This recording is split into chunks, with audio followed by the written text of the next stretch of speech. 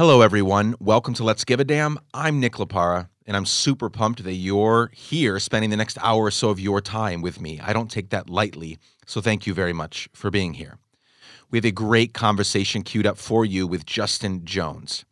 Justin and I just wrapped up our conversation a few minutes ago. He left to go attend a transportation meeting with the mayor of Nashville, and I'm recording this intro for you. A little bit about Justin before we begin. Justin Jones is an activist, a community organizer, and he is running for Congress in Tennessee's 5th Congressional District. While in high school in Oakland, California, Justin began growing into an activist and a real damn giver. He served as the city's youth commissioner, and he successfully recalled city council members that weren't doing their jobs. He then went on to get his undergrad at Fisk University here in Nashville, where he, received the John R. Lewis Scholarship for Social Activism. He's now doing grad work at Vanderbilt University focused on spirituality and social activism.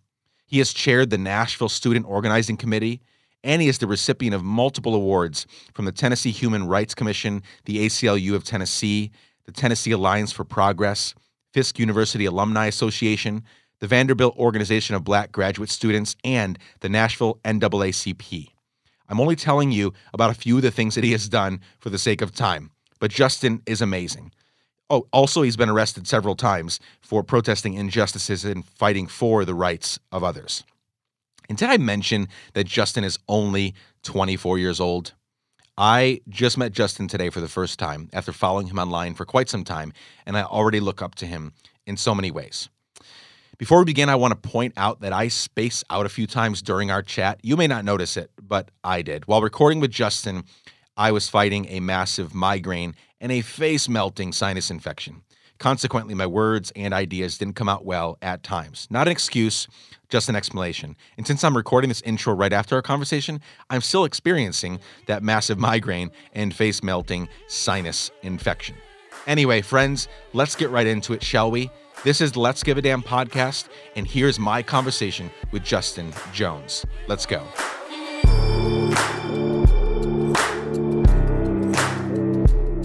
Okay, let's get going. Justin Jones, thank you so much for joining me on the Let's Give a Damn podcast. Appreciate you for having me here. Yeah, I'm so excited. I first saw you, which we'll get to. I first saw you pop up in my Twitter timeline a while back because you were uh, causing a ruckus um, with a certain uh, representative, and so we'll we'll get to that. But that was my first introduction. I saw you in some photos. You were at a table talking to some people, and I, I want you to explain all of that. But um, I'm I'm really interested. There's so many things that I want to talk about. You are a young budding politician. In, in a time when it's not, I don't, I don't think it's ever been popular to be a politician, but in this time when it's especially being scrutinized and uh, you're you're choosing to jump in, and so there's so much that I want to talk about. I want to encourage young people today uh, in this very volatile age of politics that we're in. You're choosing to jump in instead of run away.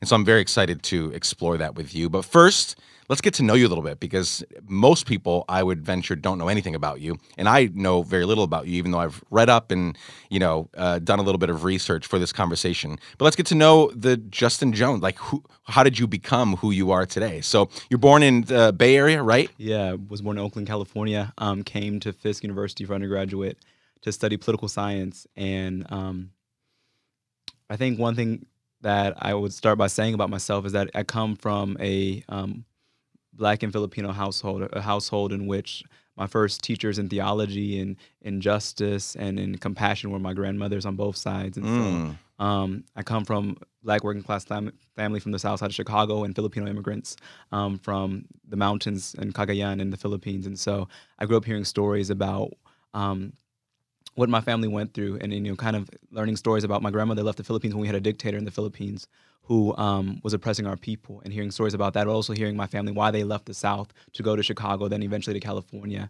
um, seeking opportunity fleeing from that terrorism of Jim Crow and so it's been it's been really interesting to to see now that I found myself back in the South you know um, back in Tennessee where my family came from before going to Chicago and um, I remember when I came from California to Tennessee to go to Fisk, the first thing my aunt told me when I was getting on the plane, she said, Justin, don't cause any trouble in Tennessee because mm. um, it's not the same as where you're from. Um, because in high school, you know, I got involved in community organizing work. Um, I was 17 years old when Trayvon Martin was killed. you know, he was also 17. That was my first um, organizing work in Oakland, where we organized students in, in high schools to protest at the federal building to show our power and to show our outrage and our righteous indignation at what was happening. Um, and then came to Tennessee. Spent my first semester at Fisk just trying to be a regular student, staying involved in school, um, just listening to what my aunt said, and then eventually um, realized that there's some really messed up stuff happening here. And so the first issue that I got involved with was um, organizing demonstrations and coordinating a federal lawsuit against Tennessee's voter ID law. Um, that makes it easier to get a gun in Tennessee than it is for college students to vote. That was passed in 2013. It's it's crazy. Um, and so we filed a federal lawsuit against them. We protested them. We testified. We filed legislation. Um, and it all fell on deaf ears. And so that's kind of was seven years ago. And ever since then, have, have seen that um, we have a lot of extremists at the legislature who need to be challenged, who need to be held accountable and so that's kind of what got me involved in this work so. Yeah so let's back up a little bit. So oakland california growing up there in the i guess late 90s because you're 24 yeah. Uh, so late 90s uh, what was that like? Because i mean people when they think if anybody knows about the bay area yeah. san francisco versus oakland like it's it, it's pretty rough right? Or it was back then. I guess it's probably being pretty gentrified now Yep. Or did you or did you see it as rough? Did you grow up thinking it was rough? No, so I was born in Oakland, moved to Richmond. Um, I don't know if you saw Richmond is where um, Bernie had a big rally yesterday, and then yep. I moved to the East Bay. And so I kind of grew up in the whole Bay Area, like you know, catching BART, catching you know, had friends from all around. I was a part of the Oakland NAACP um, until I came here to Fisk. And so um, I think one thing that Oakland taught me is that Oakland has a rich legacy of, of folks who spoke truth to power. It's where the Black Panther Party was founded. It's where um, Representative Barbara Lee comes from, who's the only representative to vote against the Iraq War. Um, Oakland has mm. a hmm. history of, of, of, kind of being ahead of its time. Um, we also have some really good sports teams in Oakland. yeah. So um, I think Oakland, what the Bay Area showed me is that um, it kind of gave me a different metric of, of what is possible. it showed me that you know what people power looks like. You know, we in Richmond you have a Chevron refinery there, so you had people organizing the Richmond Progressive Alliance to to take over the city council, saying that we don't have to allow Chevron to hijack our city, that people can have power. Um, and then when I was in Hercules, um, it was the first time that I saw People Power was working on a recall election where we recalled our city council members for not doing what was right, for engaging in financial impropriety, and we were able to recall them. And oh, so wow. I, I, grew up seeing. How old were you when that happened? I was a sophomore in high school. Okay. And was out collecting signatures, trying to recall these city council members. So let's. So there's so much here. You were a kid when when most kids are. I mean, just fucking around, just not doing much of good typically right? They're they're playing video games. They're kind of messing around just trying to get by right? Most kids. You were out collecting signatures to recall city council men and women right that weren't doing their job. Was it more your you talked about your your legacy and your your relatives and you know you have a, very rich legacy coming from you know uh, escaping dictatorship in the Philippines, right? Mm. And then coming from the South, like very, you, you have fighters, right? You have fighter in your blood. Was it more relatives or was it Oakland, which you're pointing out has quite a rich legacy of being ahead of its time and opposing evil and wrongdoing was it was it kind of a 50-50 there between those two or how did you because because i'm sure there's lots of people in oakland in your in your upbringing that don't give a damn that don't care about those things. They just kind of live their life and turn a blind eye to the things that are happening. So what was it different that in high school when most kids are, you know, trying things out and doing this and doing that and wasting time generally outside of school, you were trying to recall city council men and women that weren't doing their jobs. Like how did that happen? I think it was a combination of them. I remember another transformative mo- moment in Oakland that I always remember where I did you saw a community take action, collective action was during Occupy. Oakland shut down the fifth largest port in the nation. And so I remember telling my mom, my mom's a member of the nurses union, so the unions were participating, but that I was skipping school to go to this general strike where the whole city shut down. Businesses, um, the port workers, the dock workers refused to unload anything because they said we need to shut down business as normal in our community in solidarity with the national um, Occupy movement. So I think it was a combination, but also, um, you know, of the spirit of, of this place that I was I grew up in, but also of my family. Like, I mean, I grew up realizing as the oldest sibling, as the oldest cousin, I'm in my family that you have obligation for those who are coming after you. And so, um, I just that stuck with me. I don't know what, if it was one more than the other. Um, I remember in high school, like just seeing. I went to Hercules High School, seeing the power of of of speaking out where you know I ended up boycotting my high school graduation. I didn't go to graduation. I didn't go to prom because we had an administration that was so complicit in the school to prison pipeline that was so you know complicit in, in trying to silence dissent on campus of teachers and students who are outspoken. And so I saw that as like another sort of call to action. So I, I, I attributed to my grandmothers and to teachers in high school who are willing to speak, speak up and uplift us and not beat us down when others were telling us that we just need to slow down, to be quiet, and just to go along to get along. So. So in 2013, you come to Tennessee, yeah. to Fisk University. Uh, why? Why Fisk? Why Tennessee? Because of your relatives used to be here or great opportunity or scholarship or what was it? Yeah, so I had no idea that my family history came from Tennessee okay. when I came here until I started asking my great grandmother who passed away a few years ago more questions about our history. Um, and I just thought that was another, you know, Kairos moment to be here in this time. But I, I wanted to go to HBCU, and so um, I, I toured some schools because I knew that when I went to undergraduate, there would be problems, but I didn't want my race to be one of them. Growing up in the Bay Area, I never was a minority in an academic setting. Um, you know, I didn't experience that till now at graduate school at Vanderbilt. But at Fisk, I really love the history. I love the legacy. Um, Fisk was small enough to know your name, yet large enough to meet your needs, um, and it, you know, just was a, the right place to be at the right time. Um, and and you know, finishing there a couple years ago really confirmed that. So you, at what point? Uh, so 2013, that is six years ago, seven now, depending on when you came. Um, you come here for school. At what point do you decide? um, that you want to get involved in the messy game, the messy business that is uh, politics? Definitely. I think at Fisk, one of the most interesting things was that you cannot go through Fisk without learning about our civil rights history. So you always hear about John Lewis, W.B. Du Bois, yep. Diane Nash, those who were there. And it was just interesting to me that we learned so much about our history. And then at what point do we continue that history? And so I remember when I turned 18, I was so excited to register to vote here in, in Tennessee. Um, I had been excited to be able to vote, you know, was active civically. And so I was registered to vote and then learned about this extreme regressive voter ID law that I was speaking about, where you ha- cannot use your student ID cards to vote anymore. That was passed in 2012 here in Tennessee.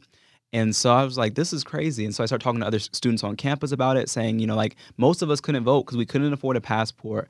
You know, you, you don't have a water bill, utility bill yep. to prove your residency. Yep.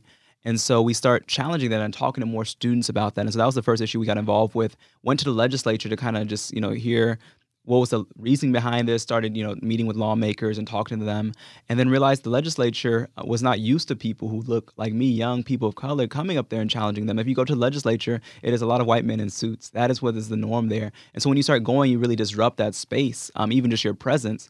And so we filed a bill with the one of the black caucus members and I testified before the legislature, and it was just it was an hour testimony, and it was just the most eye-opening experience where you had these, you know, representatives like Representative Durham, Representative Matthew Hill, really trying to beat you down, saying, you know, that you don't know what you're talking about when you know what the facts are. That in fact, the voter ID law will decrease voter turnout. That there that there are no instances of voter fraud in Tennessee with identification, very minimal. And so this law was in fact voter fraud in itself. That was fraudulent passing this law after you had the highest turnout of young voters in a generation in 2008. They said, oh, now we don't want young people voting as much, and so they passed this law.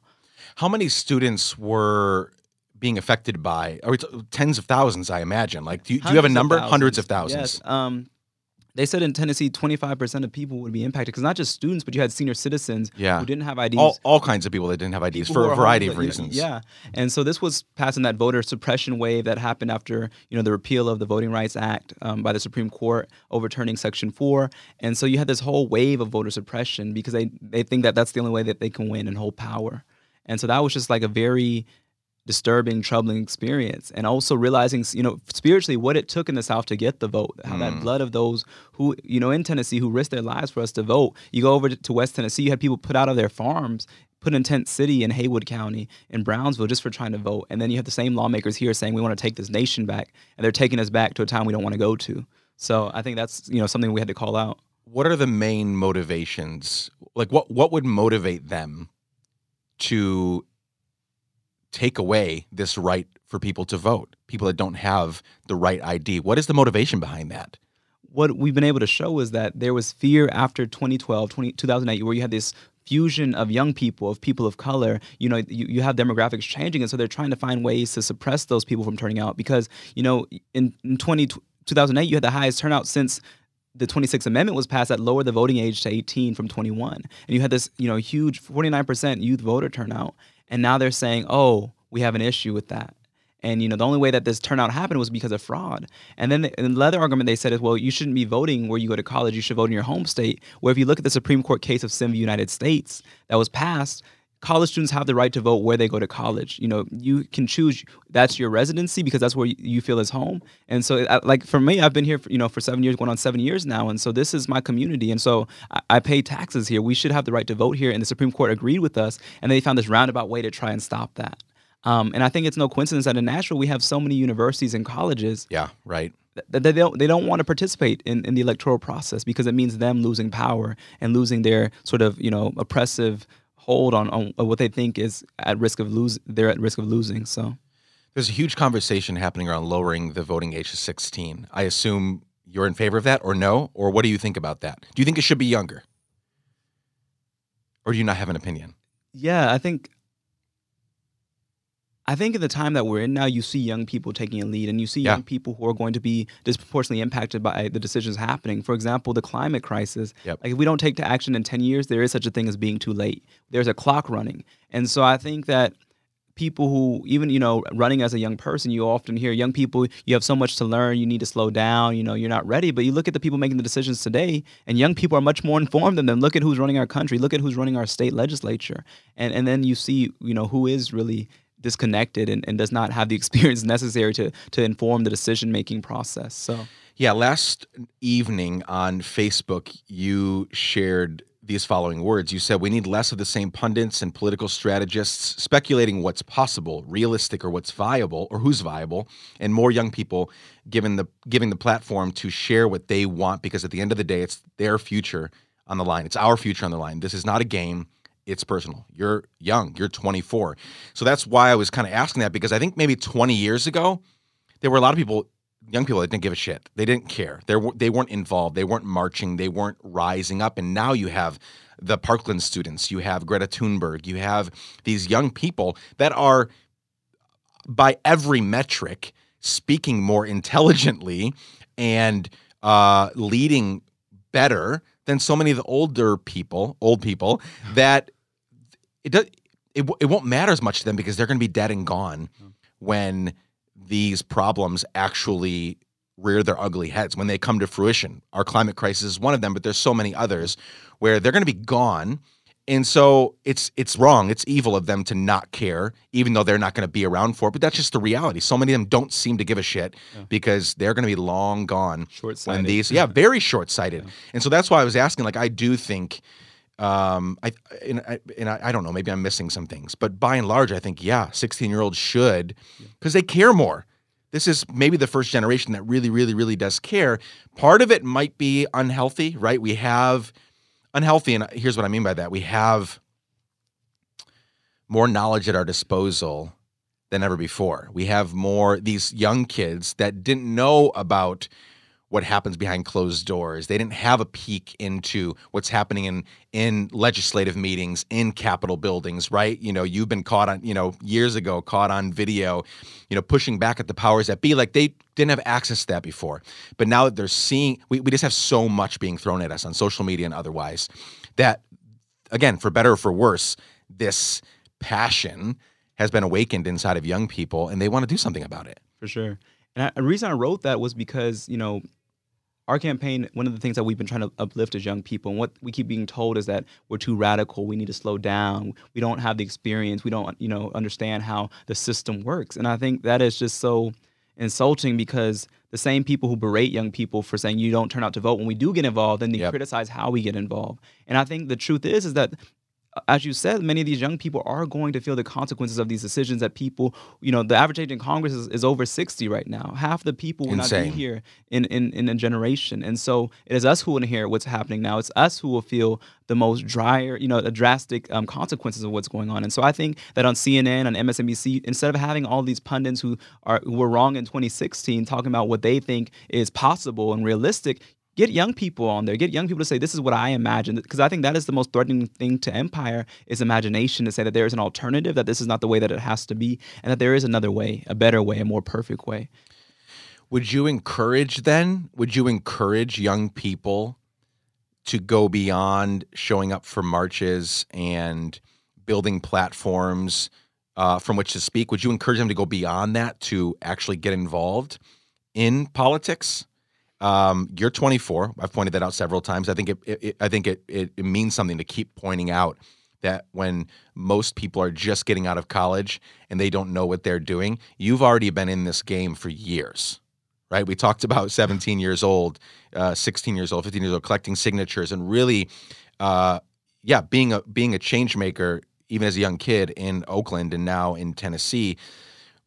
What's what's your advice to be? We're going to get to talking about what you're actually running for and why you're running for that that uh, position, that office, and I, we have so much more to talk about. But um, would you encourage? We've got because we've got this incredible day, right? We've got um, a friend of mine, Ted Terry, mayor of Clarkston, Georgia, uh, who was featured on Queer Eye, and uh, he's he's he's now running. Um, what is he running for? He's running for a. Um, you know who I'm talking about? Ted Terry. I know that. Yeah. Know. Yeah. So he was he was the mayor of Clarkston. He was running for a Congress. Uh, he was running for Congress, and now I think he's running for a, maybe it's Senate or. And I should have probably checked this up before doing this, but I love yeah. Ted. Yeah. You have uh, Alexandria Ocasio Cortez. You've got Ilhan Omar. You've got all these uh, amazing young people, and again, agree with their platform or not. It's so admirable that at such a young age they are taking this pol- the political bull by the horns and saying like I'm in, like I'm going to give my life. Uh, these people are too old that are dictating what we do and uh, you know yeah how we should live. I'm going to do something about it. So you've got Ted Terry's, you've got Alexandria Cortez Cortez, you've got Justin Joneses that are doing something about it. So would you every couple years there are seats and there are positions that open up that can be challenged, right? You are challenging Jim Cooper, right? Someone who has been in the game for 30 years, decades, over, yeah. right? Decades. Uh, would you, would you recommend, would you advise young people to get involved? And if so, how should they go about doing so? Yeah. I definitely would involve young people to get involved. Um, running for office is just one way, though. I think that we still need community organizers. We still need people assuming other leadership roles in the movement. Um, but I, I, decided, you know, to to make this transition from movement to electoral politics, something that I never imagined. Um, just realizing that for you know seven years now, we've we've spoken truth to power. We've begged politicians to change. We've tried to get them to you know switch on environmental justice, to switch on racial justice issues, to switch on economic justice, and, and they keep telling us that you know it's not the right time. That you know that we need to to to just play the game a little bit longer. And even when I announced that I'm running, people said I didn't go through the proper line, that I cut the line.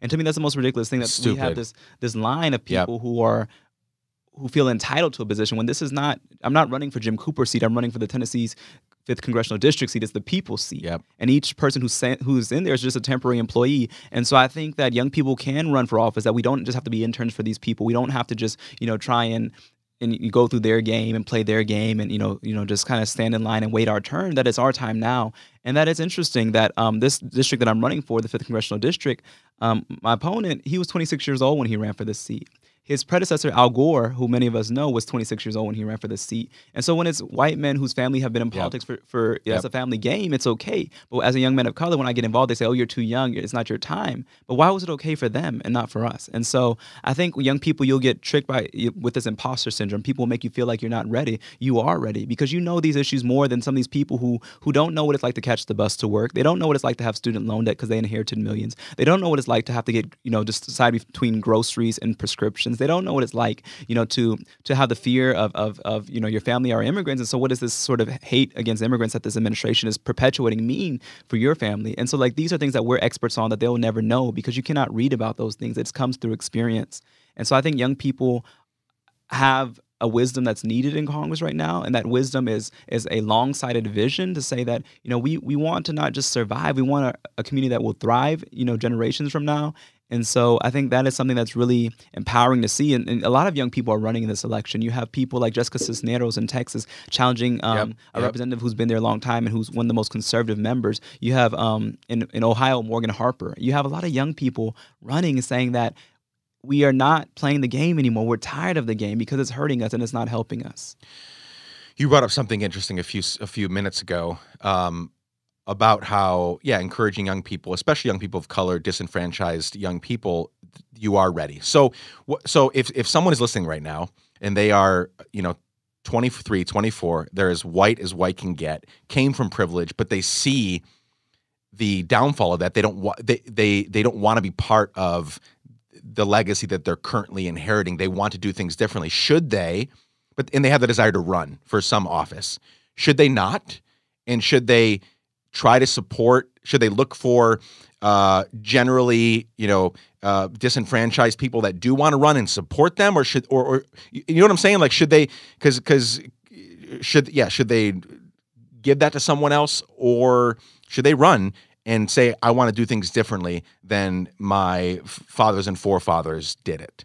Does my, does my question make Yeah. sense? I mean, I wouldn't discourage anyone from running. I think running is a is a it needs to be a personal decision, a moral decision, a spiritual decision. And so just look like, you know, when I I'll just go through my process of how I decided to run because Yeah, that's when, great. When I ran, I announced in November, you know, of last year. We had been waiting for someone to announce in our district. There hasn't been a primary here in 10 years. And so we had waited and waited and waited. No one announced. You know, no one no one was going. So we, we were talking as as organizers saying, you know, who's going to step forward? And then I was approached by some union members who, you know, who Real quick, wh- wh- what's your theory on why no one was running? Are they just happy with the, No, the- not- well, what's going on, or just laziness, or just complacency, or what? I mean, I, I still see, see it now. People are afraid. People, we have a city in which the congressman and the mayor are brothers. You have a family dynasty Yeah. controlling the city. Their dad was the governor. People are afraid of, of going up against the grain. And even with me, people said you're going to be, you're going to be ostracized from some places. You'll lose friends. That has happened. But it that that is just a clearing out of, of, of what needed to happen. And so I think people were afraid to be that first ripple because now that I've announced, there's many more people who've announced as well for this race. And so we had the first primary in 10 years and i'm excited for that i think that's what democracy looks like a primary Yeah. is democracy Yep. and so anyone can put their, their name in but i think that whoever runs you need to be accountable to a movement accountable to a community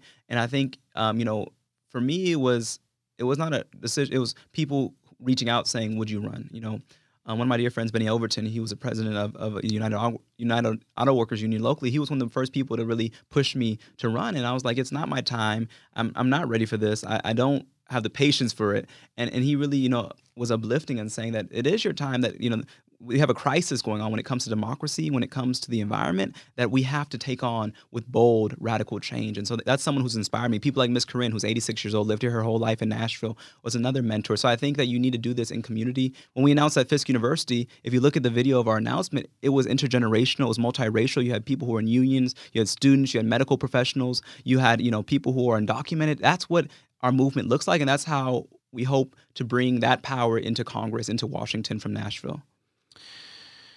Let's talk for a minute about local versus national politics.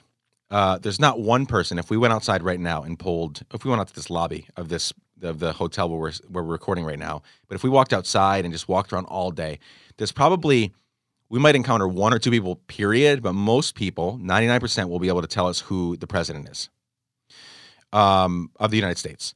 Uh, and if you name like some very like key leaders in the country, they could they can name them vice president, you know, and otherwise. But they probably wouldn't recognize you, right? Most people. They would just be like, "Who's who's this guy?" Or if we started saying, "Who are your city? Who's your city councilwoman? Your city councilman? Who are this? Like treasurer? Like all these." If we started naming all of these local politicians, that what they do and what they say, what they act on, what they don't act on, directly affects you and me. Sidewalks being built, teachers getting paid more, all all sorts of things in our city, and yet no one very few people, not no one, very few people get involved in local politics, even to know the names of people that are running or have run, people that are occupying certain positions. They don't even go that far, let alone know their position on X, Y, or Z, to know what platform they ran on, to know what they're doing. Are they doing a great job? Are they doing a shitty job? Like they don't know those things, let alone just the names of these people. That's a tragedy to me that we know that we let people uh, now, I it's not a secret on this podcast that I do not like, uh, and I'll, I'm putting it very mildly, do not like Donald Trump or his or how he, yeah, how he is running this country or him as a person. I have no no no like for him whatsoever. But um, there are so many people that know what's going on at that level much more than they know what's going on locally when there's a million things each and every day that we do that that man and his administration can't touch right but people the people that i just said city, councilmen councilwomen uh, all, all the different positions that people ha- hold locally that does that does affect the city that i live in this the community that i live in my neighborhood So let's talk for a second about local politics. What is your recommendation? Because people are going to be listening to this podcast that live in 50 different states and uh, a couple dozen different countries, right? So people that aren't even in American politics are going to be listening to our conversation. What is your position on local politics and how heavily people should get involved there versus putting all their effort into knowing everything that's happening at a at a national level? Some of that does affect us, right? Some of that does affect us. But so much of it doesn't and we're not working, we're not moving in our communities. So speak to that. Yeah. I mean, I definitely think people should be involved in local politics, which is why we spent seven years challenging the legislature, challenging the state capitol that's right in our backyard here in Nashville. But I, I would I would take a step back real quick and just I think that the indictment on lack of knowing who these people are should not fall on the people, but it falls on those members who have been disconnected. For example, every weekend okay. now, we've been canvassing in different parts of the neighborhood in North Nashville and Antioch um, and East Nashville, canvassing, talking to people about this primary that's going on. A lot of people don't know who our congressman congressman is. He's yep. been there for 30 years. Yep. That is not their fault. That is his fault.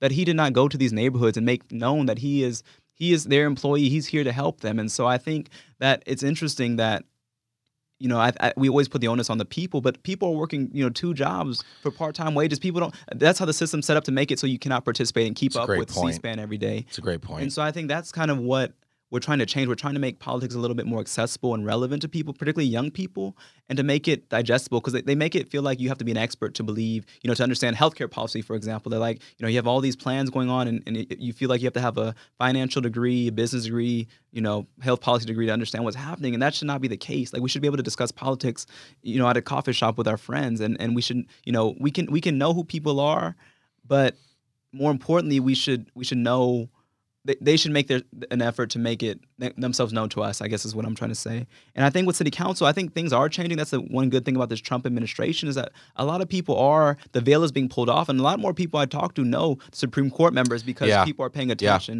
Yeah. Yep. They know you know who who their Congress members are now because there are movements to primary people. People are learning, and I think, I mean, that's why Nashville has the most diversity council in our history. You know, we had the first Latina elected, the first Muslim member, and also Nigerian elected. I think we have, you know, parity between men and women on city council because people are getting involved. So I think it's shifting. And if any good can come from the evil of the Trump administration, is that the veil has been removed and that people are awakening and rising up, saying that we cannot be complacent anymore. That's so true. Uh, I've had that discussion on this on this podcast several times. Most recently with Jeremy Cowart, a friend of mine, and we that was precisely what we talked about for an hour was various angles at at least we're doing something now. At least we know because during uh, yeah, previous administrations, nobody nobody gave a shit. Like even at a national level, so let alone the local level. At a national level, like you're saying, nobody cared about who. I shouldn't say nobody. Very few people cared about who you know the new Supreme Court justice nominees are, or who was getting this position or that position in the White House.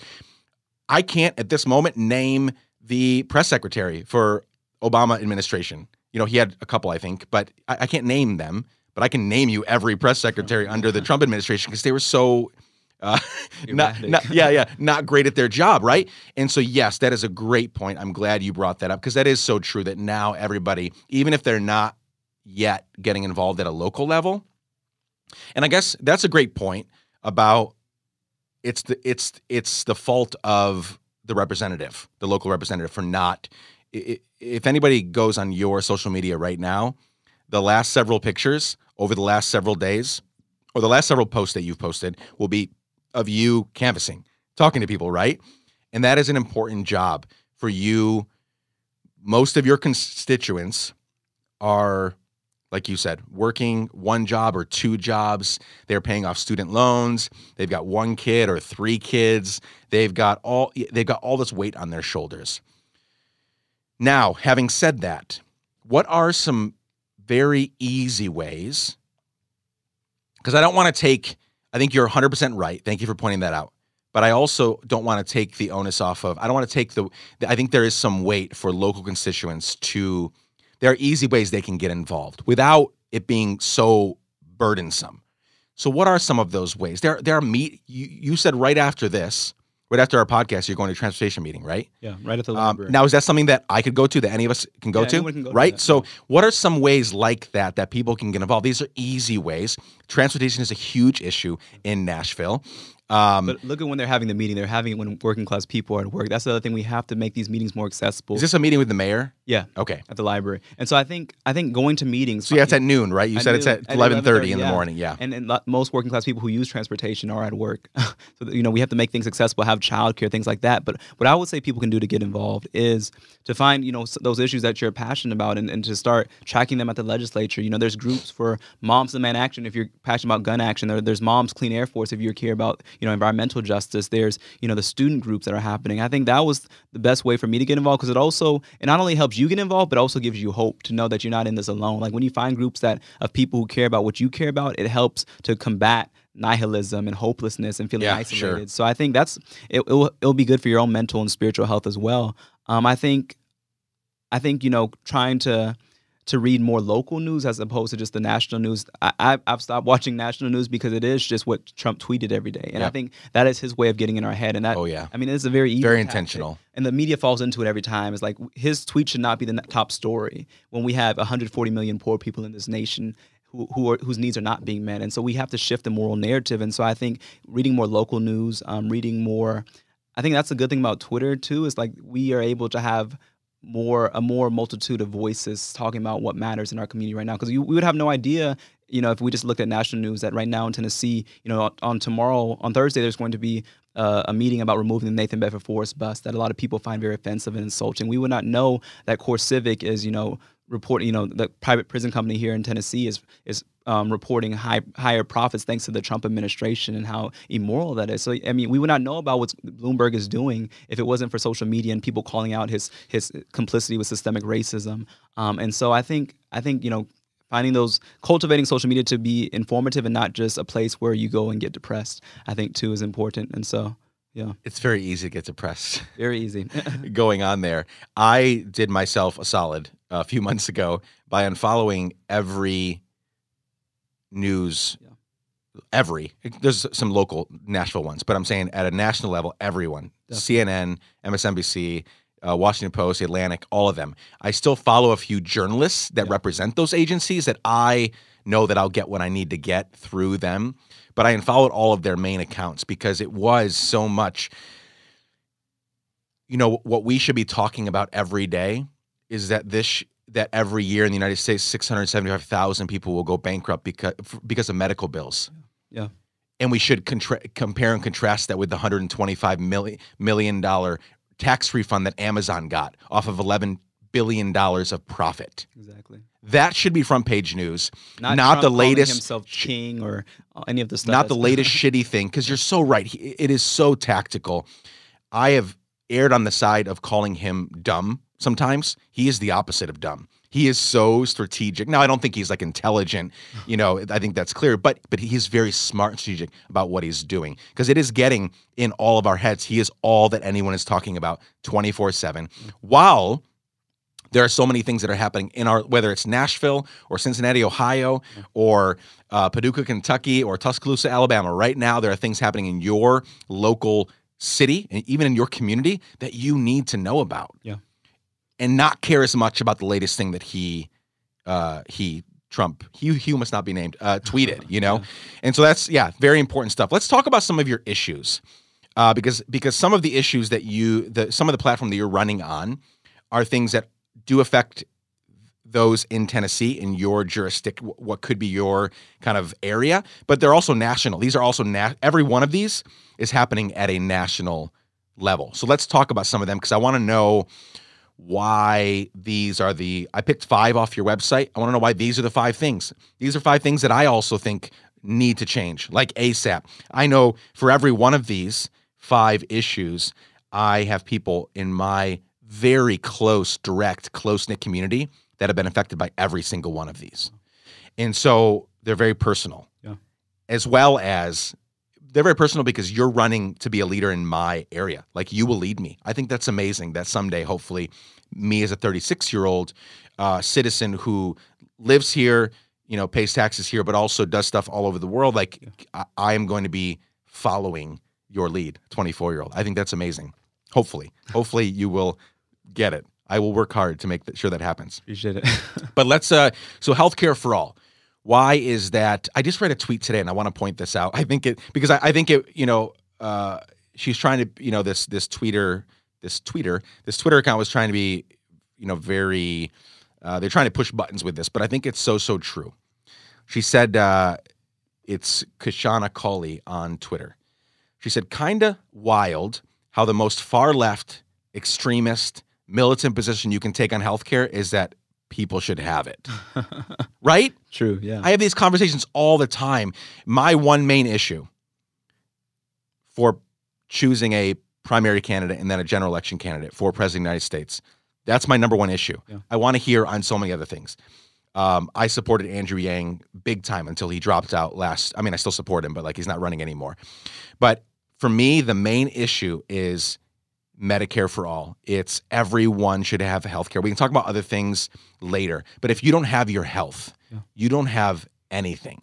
I'm a, uh, I can work, I have skills, I have talents, and I'm still paying off a hospital bill from two years ago. I spent 45 minutes. I had this, woke up in the middle of the night with this crazy intense, like I've never felt before, shooting pain in my leg.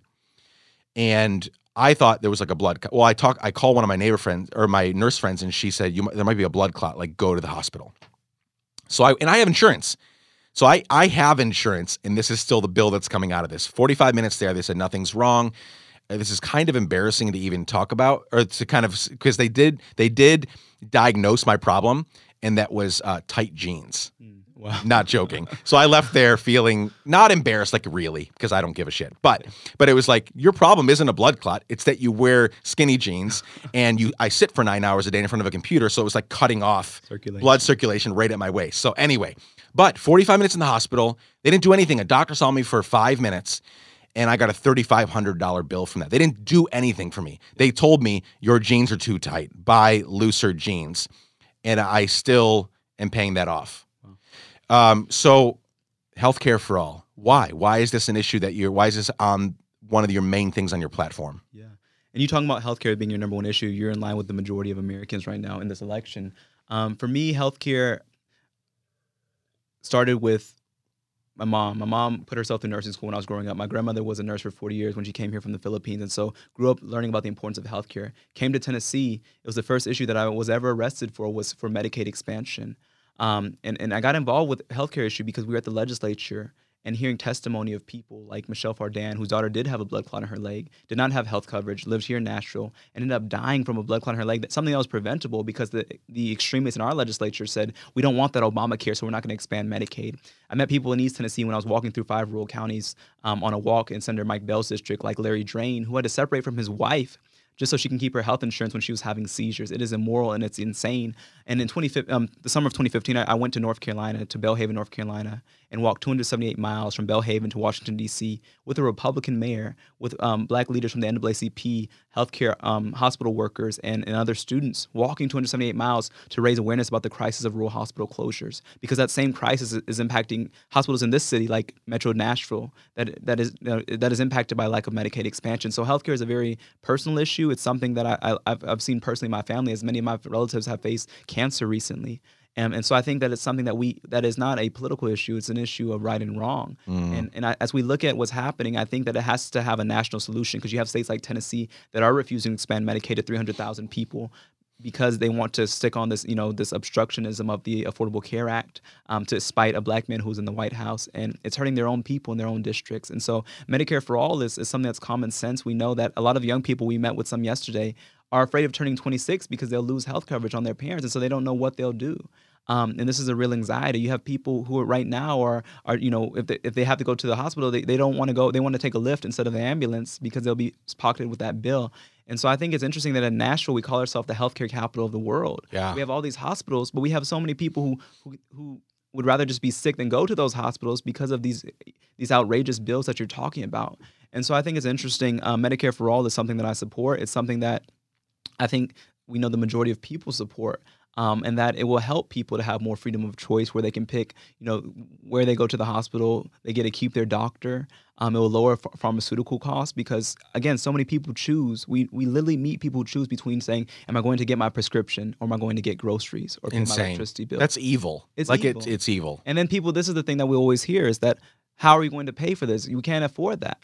And I think you know if, if we look at the other policy issue that we're fighting against, it's this endless wars. That in last in December, Congress passed a bill to give 278 billion dollars to the military-industrial complex. Hardly any Republicans or Democrats challenged that. It was just passed, Yeah. increasing it Yeah. with no question. Yeah, that was a sad it. day, even as a Democrat.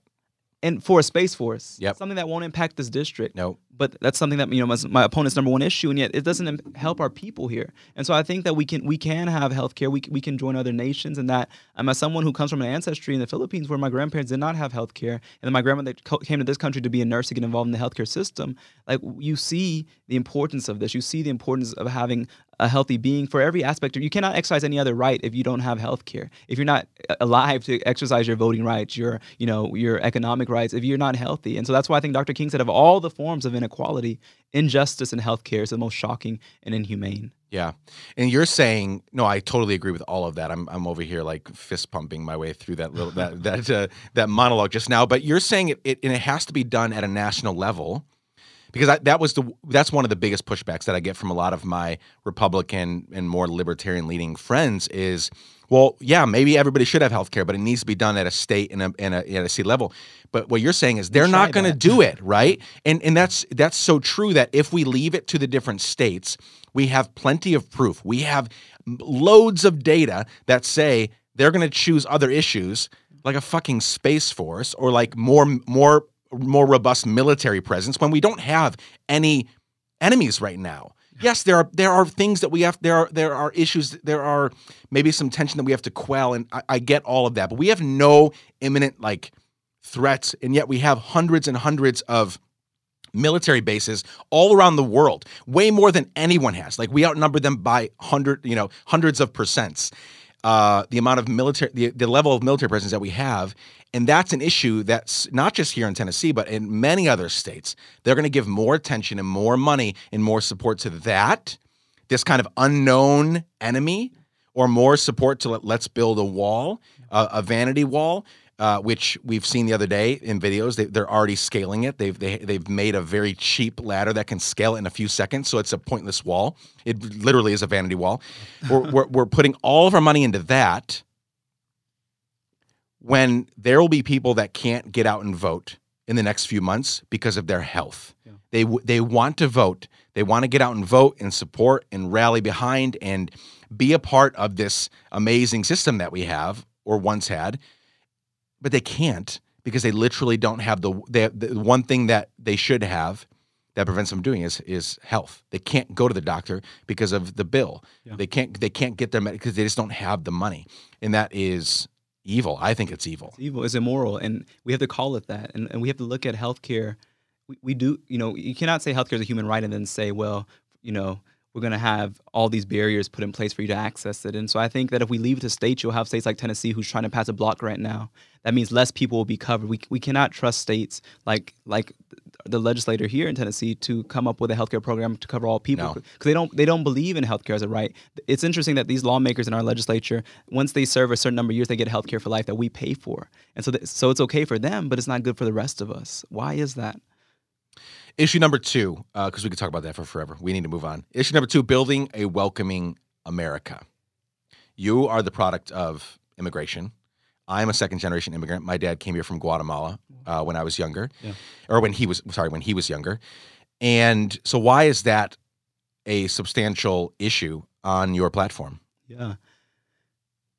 And I'll even be more specific. I think one way we do that is that by abolishing ICE. I think that in Nashville, the past year, we've seen ICE, you know, show up at grocery stores and shoot people here in Nashville. You've had them show up in front of people's houses, holding a father and son in their car in the summertime, hostage in the heat where their air conditioning was running out. You had people showing up at some of the schools here in Nashville, and so we know that that is not welcoming. That one in ten people in Nashville are immigrants and that if, even, even if we go to the rural counties in our district in Cheatham and Dickson, many of the people who are working on these uh, in agriculture are immigrants. And so we want to build a welcoming America because unless you're Cherokee, Choctaw, Shawnee in Tennessee, you are an immigrant. Even those who say that I'm a seventh generation Tennessean, your people came from somewhere. Yeah. And so, you know, Governor Lee, Jim Cooper, your last names are not those Cherokee names or Choctaw names, and so that means you come from somewhere. And so I think it's just this recognition that that is the legacy of America, and that we we want to build a welcoming America. Because we look at who is Nashville's the it city right now, and you see all this construction happening. Go to those sites and see who's who's who's building it. Yeah. See who's really the, the heartbeat of the city right now. It is it's the, our migrant brothers and sisters, and so we cannot allow we, we have to treat them with dignity and, and human rights, and that abolishing ICE is possible. ICE was created in 2002 after September 11th, and it can be restructured into the Department of Justice, the Department of Commerce, where it has more accountability than it has now, where it's, where it's running rogue and terrorizing people. And I think that's immoral as well, and that that is something that we have to think about. Why are immigrant brothers and sisters afraid of participating in the census, of, of you know, of, of going out shopping when, when you have an administration that's created so much hate about them and, and put them at risk of, of not feeling welcome and feeling like they're a target?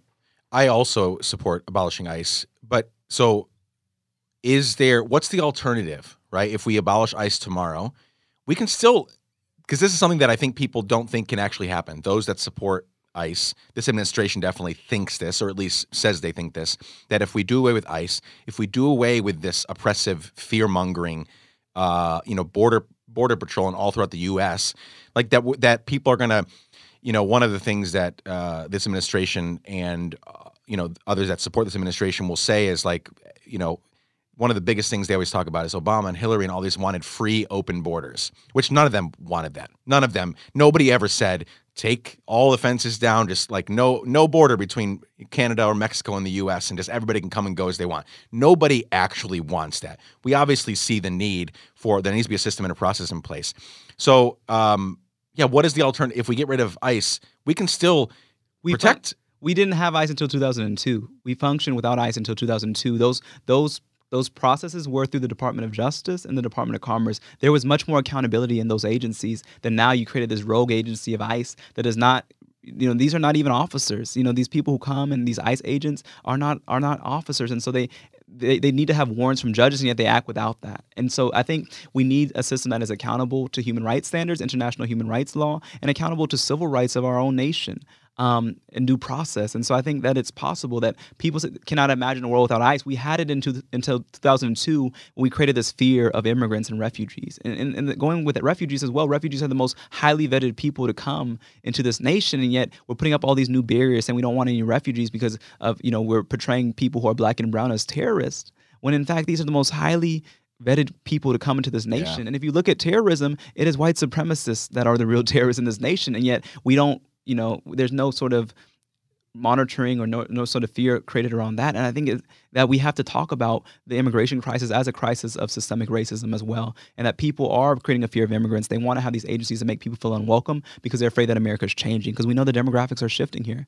And, and, and, and people, that makes some people afraid, but it shouldn't. Because again, the history of America is a history of migration. Yeah. Yeah. We, we literally were built on that. Definitely. Number three, affordable, equitable higher education. Why is that important for you? as a college student, um, one of the issues that we keep hearing from young people is that it's a burden to put an entire generation under the the constraints and the chains of student loan debt. Um, you, you have people who have thirty thousand dollars of student loan debt just trying to get an education because we've been told our whole lives you have to get a higher education to be able to you know compete in this world, and you get that, and then you're stuck for your whole life paying off debt. Um, and so, if we can bail out Wall Street, we can bail out students seeking education. I think that we also need to fund HBCUs. Nashville has four HBCUs: FISK, TSU, Meharry, and American Baptist College that have been, you know, rich legacies in the city, and yet they don't have equitable funding. And so, that's another part of our our, our platform. But we think that higher education, that people who want it should not have to pay you know hundreds of thousands just trying to get education that it should be a right for those who want it and that um, that it's possible and that it's something that you, you hear on a national stage right now where people are talking about you know canceling student loan debt. We believe that is true. I'm I, you know i'm i just took a leave of absence from vanderbilt divinity school getting my master's but i'm leaving college with tens of thousands of debt trying to get an education so i could you know work in the community and do the job that i want to do and, and help my people and and, and and and you know my debt is not even compared to some people who have three hundred thousand dollars, four hundred thousand dollars in Right. debt. How will you pay that off? Yeah, I have several friends that have been paying for 10, 12 years, and the the amount that they owe right now, if they open their account, is higher than when they started. Wow, 10 years of paying it off, and the amount is higher. Like that's insane. it is. I mean, you, it's it's a it's a burden. And again, everybody chose to do this, but it shouldn't be that way in the first place. Especially when you see some of these colleges and their endowments. You know, they're getting so much mm-hmm. money from outside support, and yet they're saddling their students with a tremendous debt that won't leave them until they're 40 or 50. Like, and they chose it, but it's like we it's kind of like this choice that you have to do in Right. today's society to be competitive. And I think in a way, debt is a way to keep people complacent. Oh, because Oh, yeah. when people are held in debt, it's it's a, it's a form of bondage where you, you can't be as radical as you want because you, oh you got to pay off. You know you can't you cannot follow your vision because you got to pay off this. You know you, and so it's a way to constrain people. I think it's intentional, and I think it's it is something that we got to think about systemically. Like we can cancel entire generations' debt. Um, if we can do it for Wall Street, you know, after the with that bailout, we can do it for Main Street and, and the students and the working class people who are suffering. Um, and it is suffering. Debt is a form of suffering where Yeah. you feel like you're not worthy, you're not doing enough, and you're told that you know it's your fault, but it's not your fault. And I think again, we have to talk about it systemically. Yeah, I'm glad you brought that up because yes, obviously you chose to sign documents and you know start as a student, both as undergraduate and now graduate. But you, but the system. I mean, there are jobs right now that will pay somebody 15, 20 bucks an hour that require a college degree. Like that's insane, right? You can't pay. You can't even live life on 15 to 20 dollars an hour, let alone pay off these tremendous debts that you have. Like it's it's very true that I think the motivation maybe no maybe people aren't thinking about it very there are a lot of people in the system that aren't thinking about that actively on a day-to-day basis but the system is built to keep people quiet mm-hmm. because when you're not saddled by debt the pressure is gone you can there can be revolutions there can be radical living there can be hey i'm going to walk 300 miles from north carolina to washington d.c to protest x y or z like that can happen now when you're not thinking well i have to go to work 10 hours a day every single day just literally just to get by Exactly. uh, number four, you have a you you have a transportation meeting to get to. So I want to respect your time. An economy for people. What does that mean for you, and why is that important?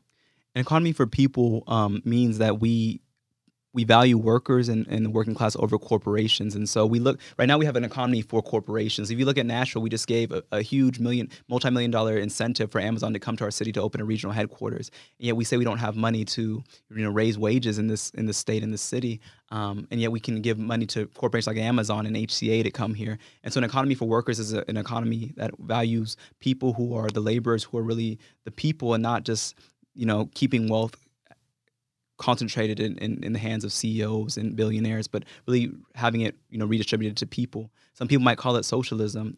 Dr. Martin Luther King called it. Um, can, he said you can call it dem- democracy or democratic socialism, but we need a radical redistribution of wealth and power in this society.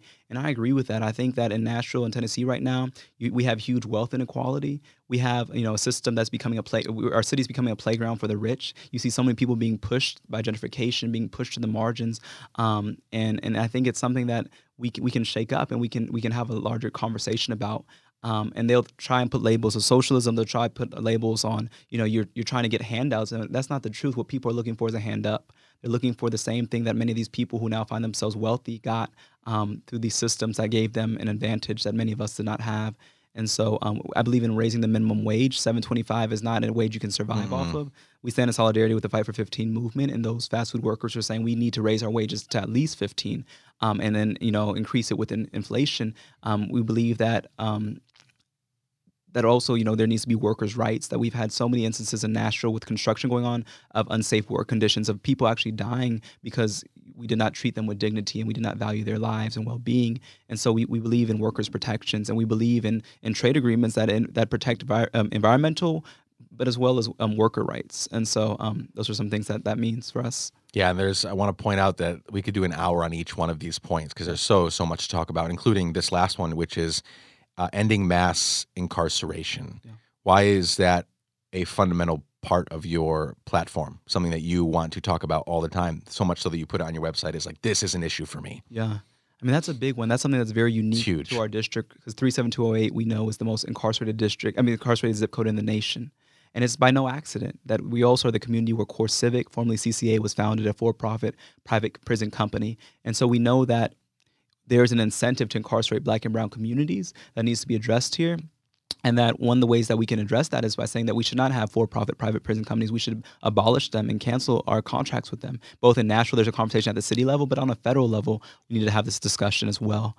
Um, and we need to look at, you know, not just like when people get out, but like now we know when they're moving toward these electronic monitoring systems where you'll still be incarcerated, but you'll still, you know, you'll just be at your home with this monitor on. And so I think it's so interesting too that um, how this relates to going to democracy, where one in 12 people in Tennessee cannot vote, one in 12 black men cannot vote because of felony disenfranchisement. So when they incarcerate you, they take away your vote. They make it harder for you to get a job. They make it harder for you to get health care um, because they, you know, they try and put this label of felon on you. And, and so I think it's, it's, it's just so outrageous that we have so many people here who were in the buckle of the Bible who talk about redemption all the time. And they, they, they talk about redemption when it comes to certain people, but when it comes to people who who have paid their debt, who you know have done their time, and who even in fact should not have been in jail in the first place if we're honest. So many of them. So many of sure. them. Um, there's no redemption for them. There's no there's no you know there's no opportunity for them. And so I think we have to analyze that why it is in Tennessee that African Americans are only 20% of the population, and yet we make up disproportionate amounts of the prison population here, um, 40% in some places. And so I think I think we have to have a larger conversation about that and talk about it as a way of, of ending mass incarceration, but also building um, you know looking at restorative justice. And so what does that mean? You know when we talk about criminal justice, we also talk about the death penalty. We need to abolish the death penalty in our state. We Yes. have had this increase in, in executions an execution on Got one Thursday. coming Thursday. Yeah. Exactly, and Which and is just, I mean, we went years without any. without, yeah, And now in the last 18 months, there's been six or seven. and there's no like it's reason. insane. No, there's no reason at all. And and Bill Lee should know better. Yeah. He is a Christian man. Yeah. He says he follows Jesus, who called us to make peace. Um, and who, who was very in his whole in his whole life and his everything he taught was very anti. He would. There's no doubt in my mind that if we could pick a variety of issues, but he would be very anti-death penalty, Definitely. like in every way. And here we are as a Christian city, Yeah. and I say that very loosely, but there's so many Christians, air quotes, Christians here, being led, you know, in a state by a Christian governor that we're going to execute yet someone else in a very horrific way. The whole liturgy, my friend Shane Claiborne called it like the liturgy of death, like. All, yeah, like the even everything, the preparation, the last meal, all of that, like it is sickening, Yeah. and yet we're going to do it again in two days. I mean, I, when I was interning in DC in 2016, I went to their fast that they were having outside the Supreme Court about the death penalty. And that's really where I, where I met Shane and where I, Nice. heard the story about. Um, one of the things that really shifted me was a mother um, whose child had been killed, and yet she was against the death penalty for the the man who killed her daughter because she said, as a Christian, she said, as as as, as a Christian.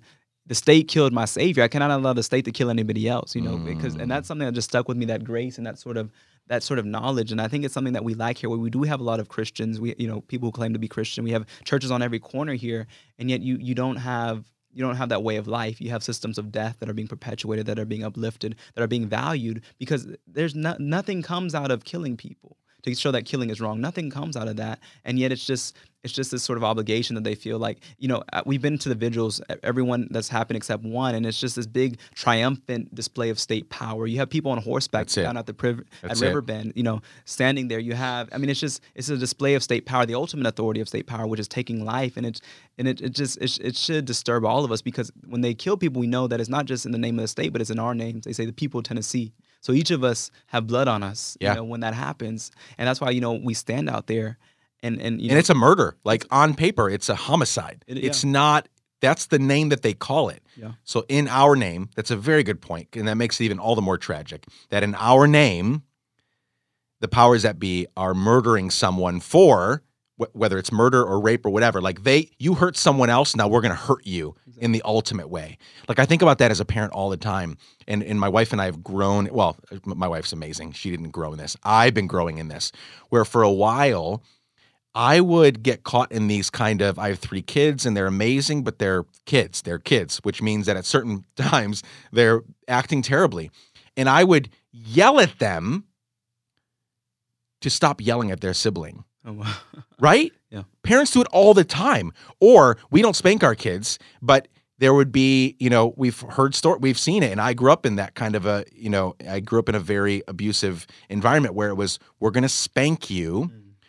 We're going to hurt you for hurting your sibling. Don't hit your brother. Now come here and get your punishment. I'm going to hit you, and we justify it because we're in charge. Mm. And we're doing in this death penalty, which is very a huge part of the mass incarceration conversation, is it's a power move. Yeah. It really is.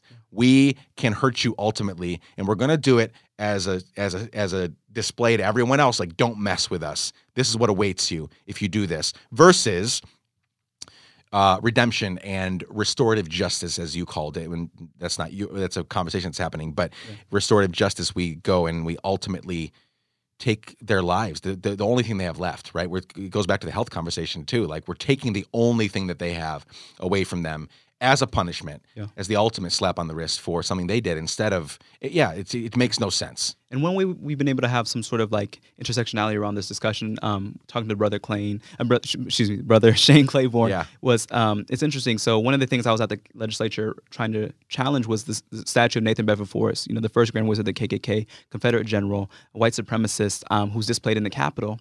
And it's so interesting to me that every time we would go up there to try and get him removed, you know, he's someone who massacred 300 surrendered black troops at Fort Pillow. Every lawmaker who supported his statue there would say the same thing. He redeemed himself.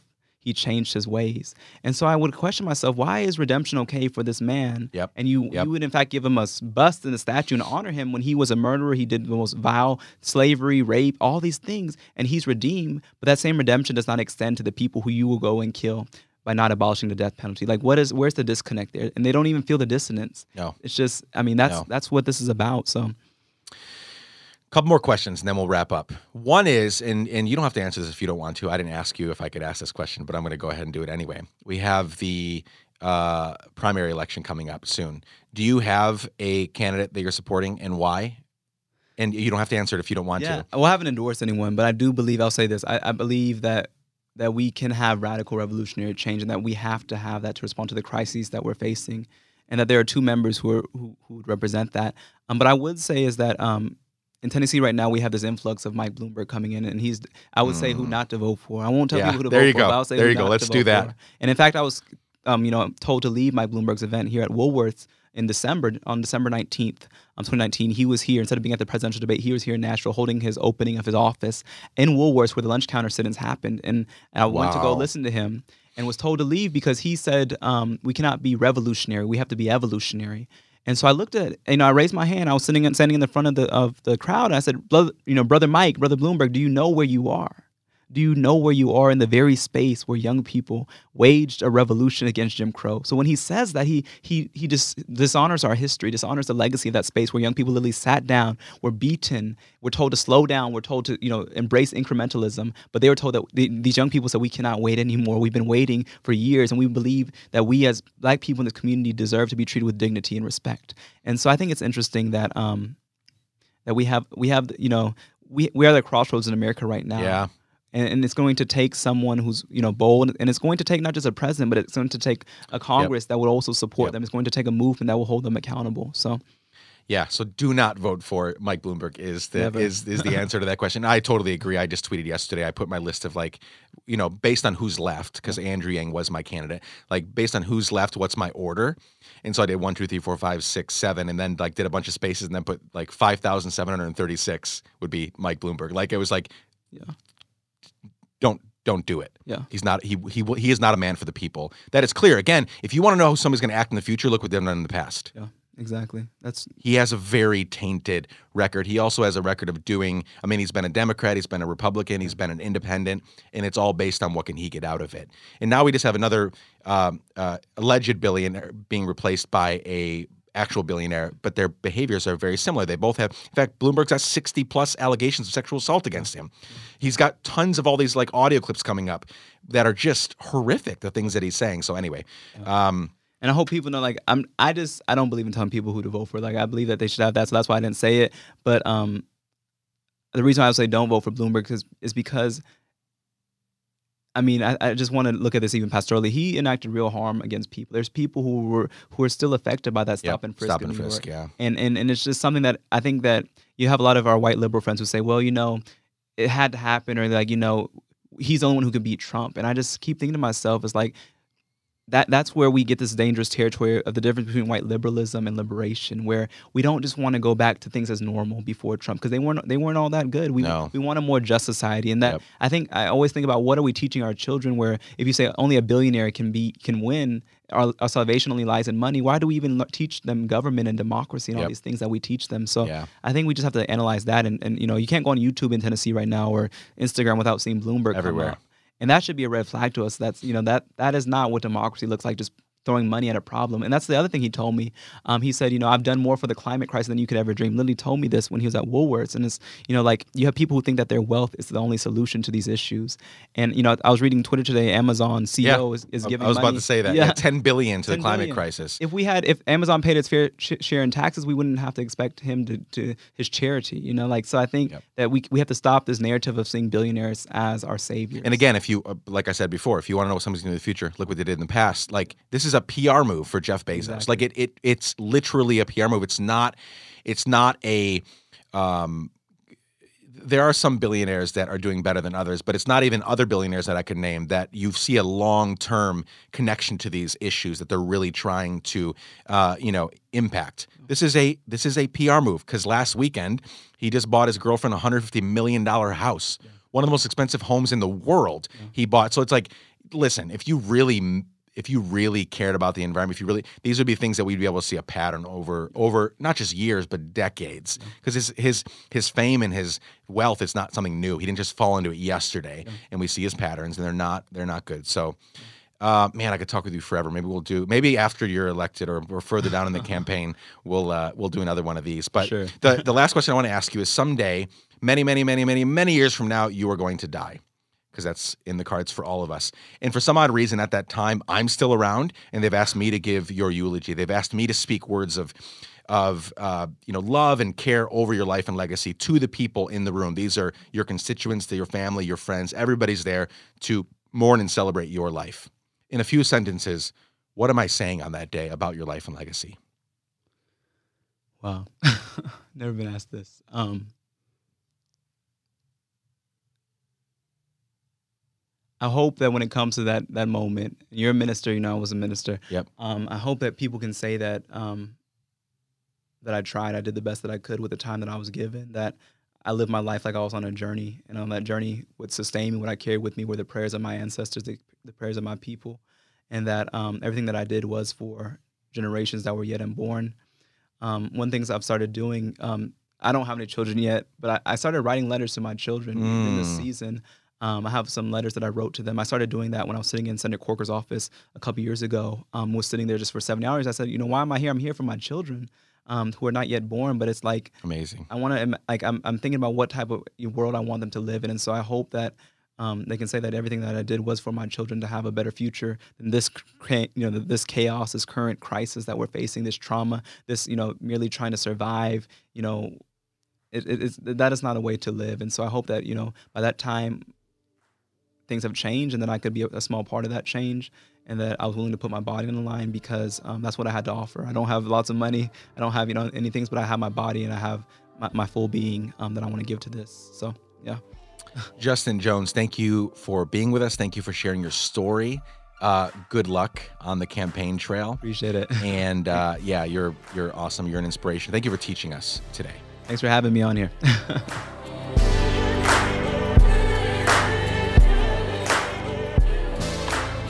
A million thanks to Justin for joining me on the podcast today. I hope you enjoyed it, and I hope and know that you learned a lot from Justin today. If you have any questions or thoughts about this conversation, you can find me anywhere on the socials at Nick LaParra or at Let's Give a Damn. And make sure to follow Justin at Brother Jones underscore. That's Brother Jones underscore on Instagram and Twitter. And if you want to keep up with this campaign, whether you live in Nashville, Tennessee or not, follow Justin.Jones2020 on Instagram. Before we go, I want to thank the, the Russell Hotel in Nashville for letting us use their podcast studio to record this conversation. If you're ever in Nashville, you're looking for a place to stay, consider staying at the Russell. Their rooms are amazing, and your stay at the Russell will help the homeless community in Nashville. So they're very much aligned with the Let's Give a Damn podcast and what we're about. How you ask? Through their Rooms for Rooms program. A portion of your stay will go to help several amazing organizations in Nashville do their work more effectively. That's a win win for everyone. So please check them out at russellnashville.com. Okay, folks, that's it. I think I covered everything. As always, this show was created by Chad Snavely and me, and the music is by our friend Propaganda. Share this episode with people you like and with people you don't like. Just make sure you share it. It takes fewer than 15 seconds to hit that share button in your podcast app, copy the link, send it to a friend right now. Can't wait to spend time with you next week, friends. So much love and light to each one of you. Keep giving a damn. Peace.